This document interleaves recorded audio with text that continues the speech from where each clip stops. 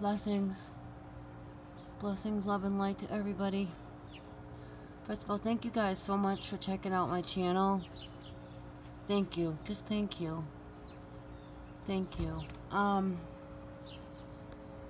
just checking in with everybody to see how you're doing, cause I, I, I'm, I'm, I'm in this weird space of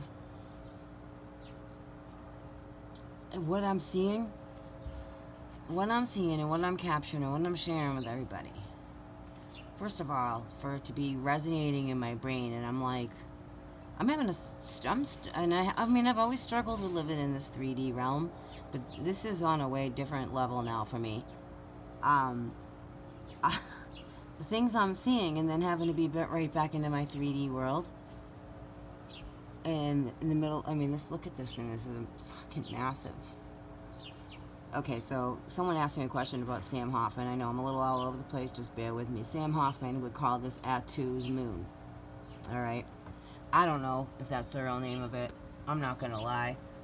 I'm not here to dog anybody, but I did not appreciate the way I. Listen, we're all learning. And I found him to be very rude and uh, narcissistic in, in my, my experience with him. This is just my experience. Especially for new people who are really realizing what the hell is going on. Um, very rude, very dismissive, I haven't seen him capture anything, to be honest with you, but he has a thing on Facebook where everybody posts their pictures and all their hard work, and then he talks like to you like crap.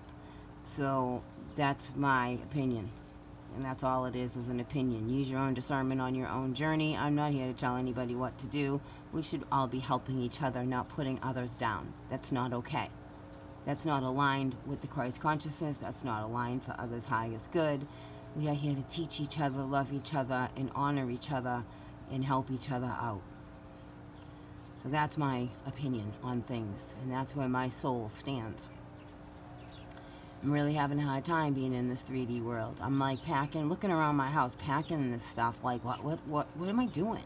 Like, I'm seeing what I'm seeing, and then I have to like come back down to this 3D world, and it, I'm really struggling with that balance.